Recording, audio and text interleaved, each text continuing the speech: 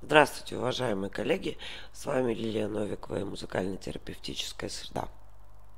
В течение мая мы с вами изучали основные аспекты методов музыкальной терапии.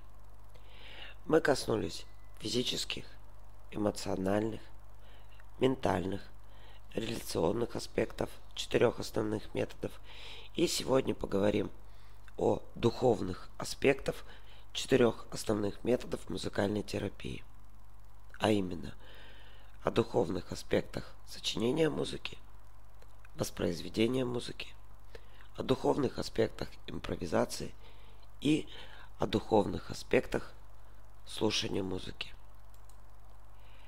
Духовные музыкальные переживания трудно определить, вызвать или предсказать. По самой своей природе они избегают объяснения в конкретных причинно-следственных терминах. Это часто случается спонтанно, непреднамеренно. Их возникновение не всегда можно отнести к определенному аспекту музыки или опыта. Духовный опыт во время прослушивания не может быть легко дифференцирован от того, что происходит во время выступления.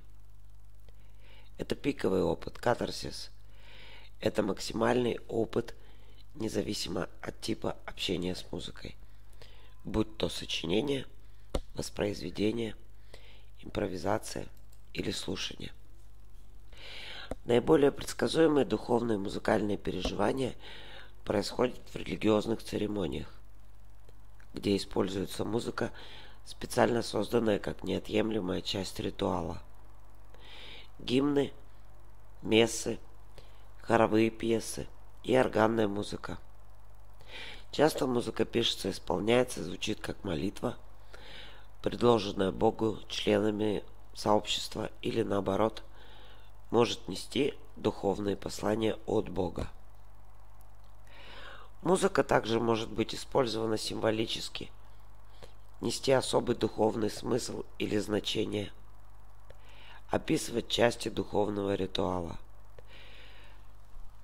Прихожане могут слушать музыку в исполнении музыкантов или участвовать в создании музыки, обычно через пение. Различная музыка используется для различных религиозных обрядов. Ну, например, похороны, свадьба, крещение или какие-либо праздники. Духовные переживания порождаются музыкой во время церемонии и затем по ассоциации в любое время позже, когда та же музыка или стиль ощущается в других настройках, могут возникнуть. В религиозной обстановке музыка порождает духовные переживания через сообщения, вложенные в саму музыку, в ее символическое значение. И роль музыки – в ритуале это ассоциации с музыкой, сформирован, сформированные участниками. Когда возникает повторный опыт, возникает повторное духовное переживание. Музыка в этом смысле обладает способностью вызывать измененные необычные состояния сознания. Она способна вывести нас из немедленного здесь и сейчас – и перенести в другие сферы сознания, ну или существования. По этой причине музыка используется для медитации, расслабления, а также для активизации воображения. Существуют специальные методики, разработанные в музыкальной терапии. Мы с вами о них говорили, те, кто обучался у меня на курсе, те, кто еще не обучался. Вероятно, им предстоит этот разговор. Но, тем не менее, измененные или необычные состояния сознания – это и есть сами духовные переживания. И иногда они обеспечивают другим доступ, вернее, к другим формам духовного опыта, который человеком еще может быть не осознан. Есть много форм духовного опыта, по-разному называемых, по-разному определяемых, как транс – как персональные трансцендентные переживания. И множество различных явлений здесь может возникать. Ощущение глубокой красоты или эстетического возвышения.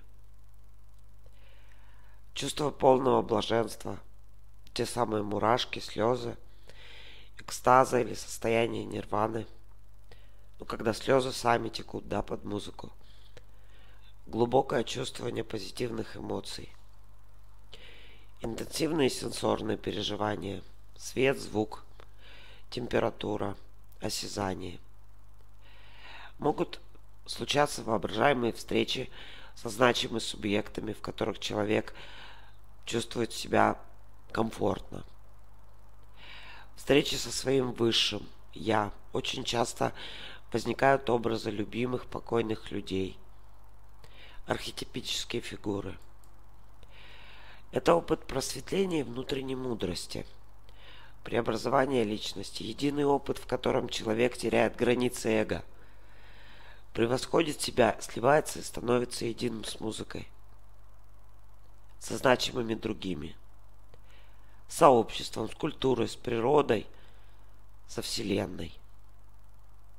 Превосходство личной или повседневной реальности и новое осознание более широкой и глубокой реальности, которая отлична от повседневной. Духовный опыт может нести трансформацию страдания через горевание к очищению. Может нести интенсивный опыт энергетических связей – и сдвигов. Терапевтические цели, наиболее подходящие для каждого типа опыта, происходят на самом деле из понимания того, что каждый музыкальный опыт на самом деле включает. А включает он пять основных компонентов. То есть в каждом опыте мы можем найти физический компонент – эмоциональный компонент, ментальный, ну или умственный компонент, реляционный компонент, компонент, способствующий формированию социальных и межличностных отношений, и, наконец, духовный компонент. Все эти пять компонентов есть во всех опытах. Есть в сочинении музыки, в воспроизведении музыки, в импровизации – и в слушании. Например, все музыкальные события включают тело. Но, как мы видим, анализ каждого вида музыкального опыта показал нам, что в каждом из них тело задействовано специфически. Слушание имеет совершенно иной терапевтический потенциал для тела, нежели импровизация, исполнение или сочинение. Некоторые виды музыкального опыта наиболее требовательны к ментальной нагрузке, чем другие. И в этом смысле музыкальный терапевт должен выбрать, разработать музыкальный опыт так, чтобы он был напрямую связан с потребностями клиента. Каждый аспект каждого музыкального опыта может быть и показанием, и одновременно противопоказанием для музыкальной терапии – при формулировании целей и задач музыкально-терапевтической работы. Каждый музыкальный опыт дает возможность исследовать внутреннюю жизнь в парадигмах напряжение, свобода, ограничение, контроль и структурирование, бесструктурность. Клиенты начинают терапию с различными потребностями и предпочтениями. Свободы, пределов, ограничения контроля, структурирование внесистемности. Когда мы слушаем, мы можем позволить нашему сознанию или воображению реагировать свободно, иногда отойти и даже противиться музыке. Музыка неумолимо продолжается и рано или поздно начинает требовать нашего внимания. Она может ограничить слушателя, постоянно возвращая его в здесь и сейчас – Слушатель может игнорировать музыку в максимально возможной степени. Слушатель может или не может уступить музыке и ее влиянию. Когда мы импровизируем, мы свободны иметь структуру или не иметь структуры. Если она у нас есть, мы свободны создавать свои собственные структуры. Рано или поздно мы устаем от непредсказуемости и стремимся структурировать, организовать, наложить ограничения на звуки, которые мы создаем. Таким образом, импровизатор может осуществлять контроль всякий раз, когда чувствует в этом необходимость. Однако, когда мы импровизируем с другими, мы должны договориться о том, как много структуры мы будем использовать, а также кто будет определять и контролировать развитие импровизации. Импровизатор может или не может уступить своей собственной потребности в структуре. Может или не может уступить требованиям соимпровизаторов. Когда мы выступаем, мы можем использовать наши тела наиболее эффективным способом для получения необходимого звука.